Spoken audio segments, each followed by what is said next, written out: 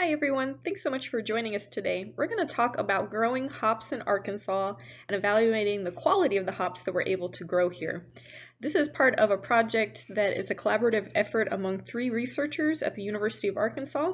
My name is Amanda McWhirt, and I am an assistant professor in the Department of Horticulture at the University of Arkansas, and also serve as the fruit and vegetable extension specialist based out of our Little Rock State Extension Office. Uh, you'll also hear from my colleague, Dr. Aaron Cato. He is also an assistant professor in the Department of Horticulture at the U of A and serves as the extension specialist for horticulture integrated pest management. And then our third colleague is Dr. Renee Threlfall. She's a research scientist in the Department of Food Science at the U of A. And the three of us together are working on this project to evaluate the feasibility of growing hops here in Arkansas. So let's go ahead and jump in and talk about what are hops and some of the specifics of how we can grow them here in the state. All right, so let me give you a little bit of background on hops. Hops do come from the family Cannabaceae, and you probably recognize this family name because there's another important crop that also comes from this family, which is cannabis or hemp. So hops and hemp do have some similar characteristics because they are coming from the same family. And one of those unique characteristics is that they have separate male and female plants. And that's not something that's unique to Cannabaceae, um, but it is shared between both hops and hemp. And in the case of hops, we are only growing the female plants. And that is because we want the female flower or the female hop cone. And that hop cone, of course, is the thing that we're going to use in brewing. Uh, and hop cones are used because they can impart either a bittering flavor or some kind of aromatic flavor to beer. Uh, in, in particular, a lot of the hops that we use today impart either a floral, fruity, or some kind of citric flavor to beer. Now, if you look there up in the right-hand corner, this picture I have there is showing you either a hop yard or a hop field or a hop garden, depending on what you want to call it. But it's just showing you how we grow hops. You know, so we have this really tall trellising structure. We're growing uh, the hops bines, uh, which is the above ground stem, straight up. And the reason that we do this is because hops are a very aggressively growing plant. Um, they can grow as much as 12 inches a day. And so we train the, the plants up in, in that way. And we're going to talk a little bit more about the specifics of how we train them and, and why we grow them that way in, in, later on in this presentation. So of course the reason we're interested in hops production is for the potential to use these hops in beer production. Of course, beer is one of the oldest and most widely consumed alcoholic drinks in the world. Uh, the primary ingredients are cereal grains, so anything from barley to wheat, corn, or even rice. Of course, in the delta of Arkansas, we grow a lot of rice that gets used in beer. But hops are another ingredient in beer. Of course, they're adding aroma and flavor and some preservative qualities like we previously discussed. Another thing that's happening here in Arkansas is that we really had an expansion in our craft brewing industry. Uh, the Arkansas Brewers Guild estimates that there's at least 39 breweries in Arkansas with more being added each day. And we're really interested in seeing can we grow hops here in Arkansas that could then be supplied to local Arkansas breweries to really create a product that is grown in Arkansas and brewed in Arkansas and provides a unique product to consumers. And so that was our interest of trying to evaluate what is the potential for growing hops here in the state of Arkansas. We do want to thank the Arkansas Department of Agriculture for their support of this project through specialty crop block funding. Without that funding, this research would not be possible. In this presentation, I'm going to first talk about how do we grow hops in Arkansas and some of the results that we have from our preliminary trials regarding what cultivars are doing well and how to fertilize hops. And then I'm going to transfer it over and let Aaron Cato talk about pest management. And then finally, Renee Threlfall is going to finish out the presentation talking about hop cone quality. So let's talk just briefly about some of more of the specifics of what a hops plant is. So here on the right hand side you can see a picture of a hop vine which is the stem of the hop plant that's growing um, around this piece of twine on the trellising system. On the upper right hand side you can see kind of the range of different leaf types that are, are possible on a hops plant.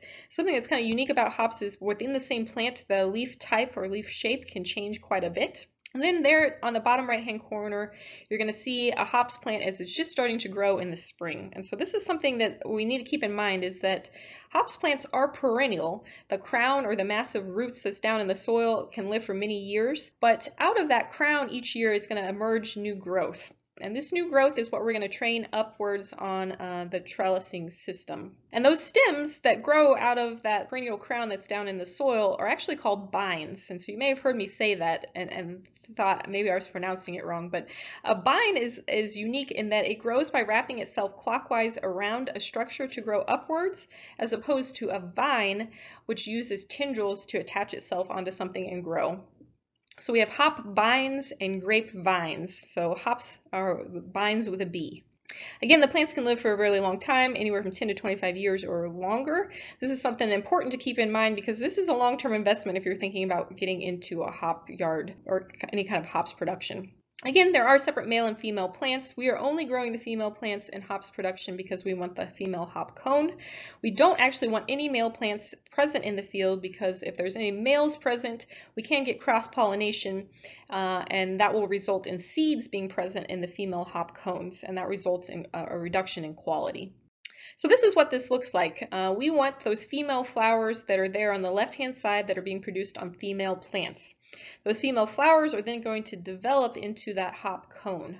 And that cone, of course, is what we're going to use in beer production. On the right-hand side, you can see some images of what a male flower looks like. And so we do recommend to growers that they go out and check and make sure that they only have female plants in their uh, hop yard. I do want to note though that certain varieties like Cascade will sometimes still produce a few male flowers on a female plant. This generally isn't a big concern, it's just a, a genetic abnormality. Uh, those male flowers generally are sterile, so they're not going to cross-pollinate uh, or pollinate the female flower and result in any seeds. But of course, what we do want to see is a lot of female flowers that can then turn into a lot of hop cones. But hops are unique in that when they flower and how much they flower is dependent on several different factors. One of those factors is node number, which is basically just a measure of how many leaves there are on the stem. Um, and that's going to be somewhat a measurement of how much the, the hop vine has grown. They also flower based on temperature. Different varieties will have different timings of when they flower, but the big driver of when we see flowering start on hops is due to day length. And so they actually respond to as the days get shorter, the plant will start to flower. So let's look at what that's going to mean for us here in Arkansas. So here on this slide, we have a map of where hops are grown in the United States. So each one of those red dots indicates a place where hops are grown. What you'll notice is that there's a lot of red dots between the 40th and the 50th parallel. So a lot of hops production in Michigan, Wisconsin, Minnesota, a little bit out in Washington and Oregon. And actually those industries are quite big now. And also some production in New York.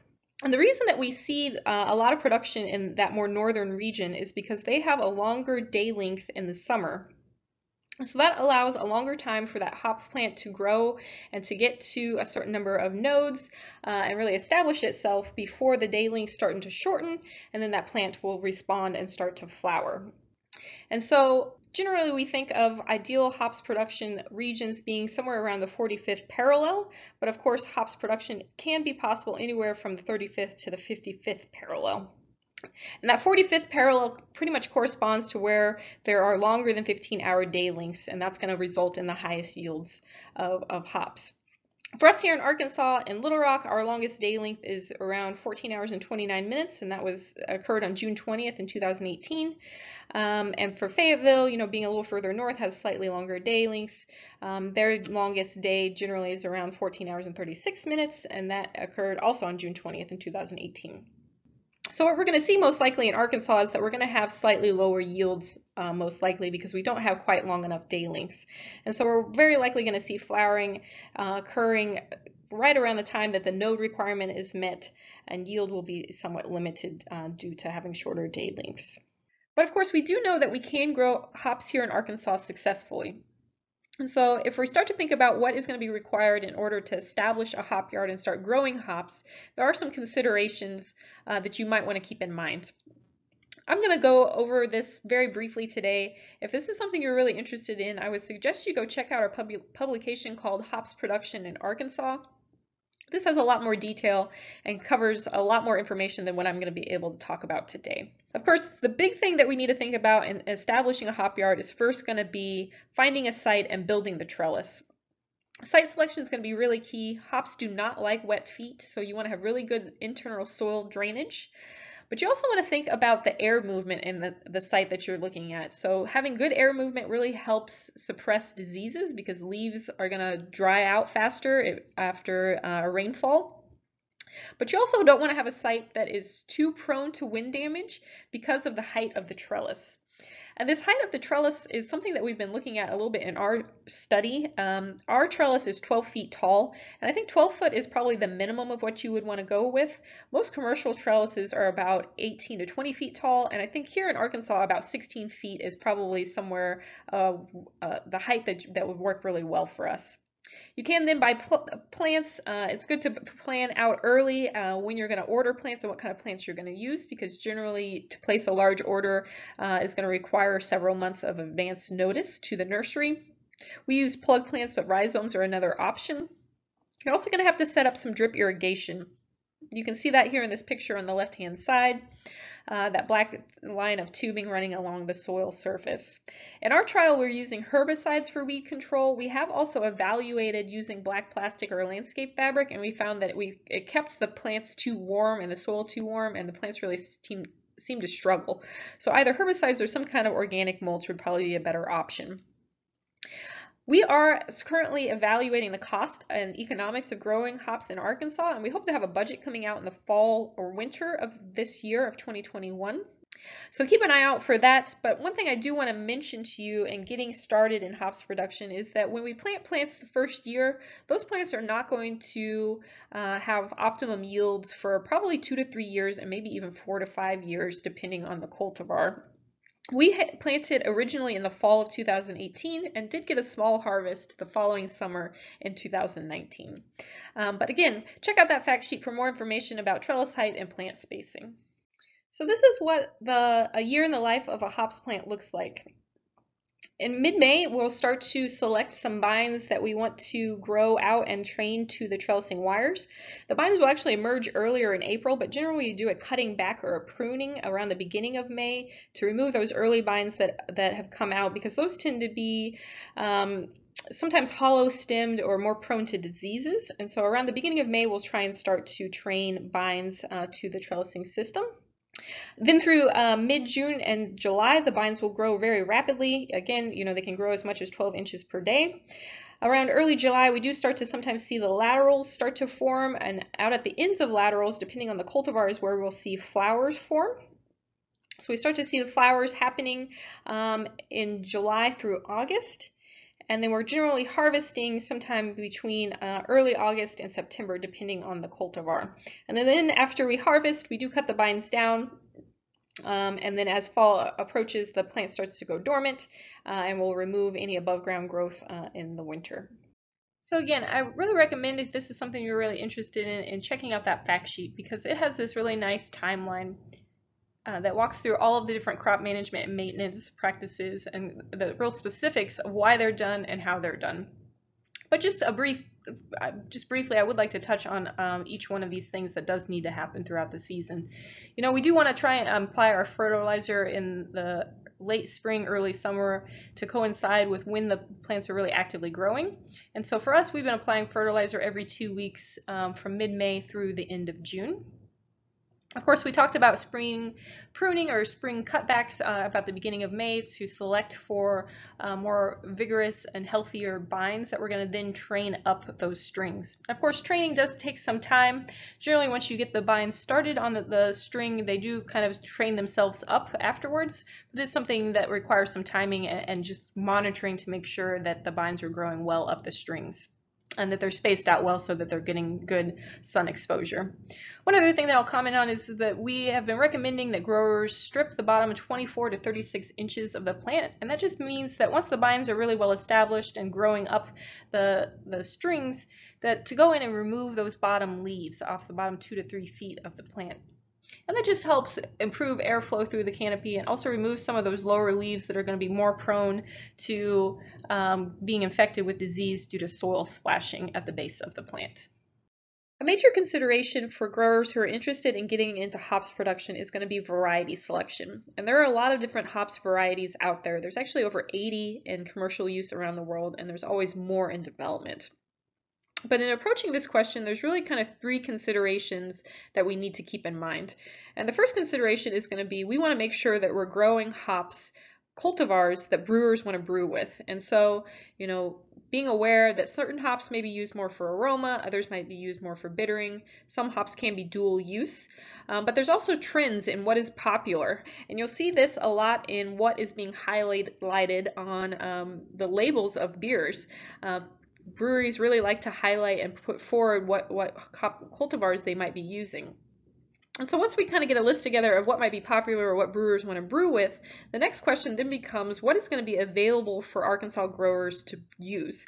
And unfortunately, this question is a little bit more complicated than it might seem, and this is because there's both public breeding programs and private breeding programs. Public breeding programs breed varieties that are available for use by anyone, and private breeding programs breed pri private cultivars, cultivars that require some kind of license or agreement in order to grow them. Unfortunately, some of the cultivars that are very popular, like Citra, Mosaic, and Galaxy, are all private. Uh, but there's a lot of other good cultivars that get used a lot, like Cascade, Chinook, and Zeus, that are publicly available. So once we figure out what brewers want to brew with, what is going to be available for Arkansas growers, the next question becomes what kind of cultivars of hops are going to grow well here in Arkansas? So in order to choose cultivars to trial here in Arkansas, we went and looked at what are some of the most popular cultivars that are currently being grown uh, across the United States.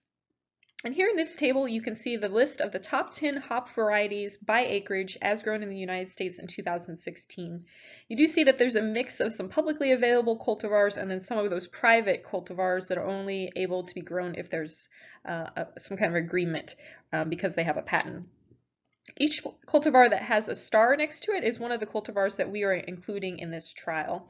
So we are looking at Cascade, Centennial, Zeus, which is also sometimes called CTZ or Columbus Tomahawk Zeus. We're also looking at Nugget, Cashmere, and Crystal. Uh, Cashmere and Crystal are not on this list for the top 10 uh, by acreage, but those are two cultivars that are growing in popularity. So this is what our hops research trial looks like. This trial was planted at the University of Arkansas Fruit Research Station in Clarksville, Arkansas in October of 2018. We did use plug plants to establish this trial in October, so you can see a picture of what those plug plants look like there at the bottom. You can also see on the right hand side that basically what we did was we took a grape trellis and amended it, and we added on some 4x4s to make the grape trellis 12 feet tall to mimic more of the style of a, really high trellis that hops should be grown on. Uh, our plant spacing is 30 inches between plants. Uh, we are evaluating those six cultivars that I previously mentioned, and you can see listed there again on the right. And we're also looking at three different fertility rates. So we're looking at kind of a low rate, a standard rate, and a high rate of nitrogen, phosphorus, and potassium of either 100, 150, or 200 pounds per acre. Um, that fertility is applied using a triple 13 fertilizer and it's applied uh, starting in mid-May and continuing into the end of June. So let's look at some of the preliminary data that we have coming out of this trial so far. If you look at this graph on the right hand side, these are our yields from our 2020 harvest. And what you see is that Cascade and Zeus are the highest yielding cultivars we have in the trial, and they're also the two that have the best plant health and plant vigor. We've really seen that Centennial and Nugget have been two cultivars that have really struggled to establish. We did lose some plants in our original 2018 planting and we had to do some replacements. But even since then, those plants have still really been um, of much lower vigor and much lower yield. Cashmere we're still continuing to monitor, see how it will do. Crystal is one um, also that, you know, is sort of a moderate yielder so far, has pretty good plant health and plant vigor, but just doesn't produce quite the same amount of cones as what we're seeing from Cascade and Zeus.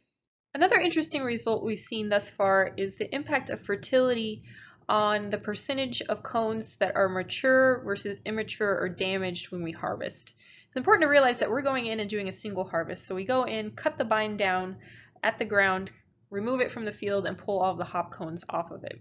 When we do that, we do sort out the cones into cones that are perfectly mature, that are the right moisture level, and ideally are going to have the optimum alpha and beta acids, versus some cones that maybe were harvested a little too early and aren't quite um, to the dryness level that we would like. And then we also sort out any cones that might have insect damage or disease. And basically what we're seeing is, is that fertility can actually uh, impact um, that breakdown of mature, immature, and damaged. And we're seeing that our standard fertility rate of 150 pounds of nitrogen, phosphorus, and potassium per acre does result in the highest percentage of mature cones per plant and the lowest percentage of damaged cones per plant. So we're going to continue to evaluate this uh, as we move forward into our second, actually our third now, uh, harvest season. But right now we're, we're looking like the, the standard fertility rate is going to be the one that we would recommend. So based on a, our preliminary results, does seem like cultivar selection is going to be key to maximizing yield and hops production in Arkansas. Cascade and Zeus seem to be doing really well. They have good plant health and survival and are yielding very well, uh, considering the age of the plants. Centennial and Nugget um, have by contrast, really struggled to establish and have a very limited cone yield per plant, and so we wouldn't currently recommend those to new growers who are getting started. And the fertility is going to be one that we're going to have to continue to monitor, but it does seem like we want to make sure that we're using a really standard rate of fertility so that we aren't negatively impacting any sort of measures of uh, hop cone immaturity when we are going in and doing our single harvest. But we're looking forward to sharing more results with you in the future.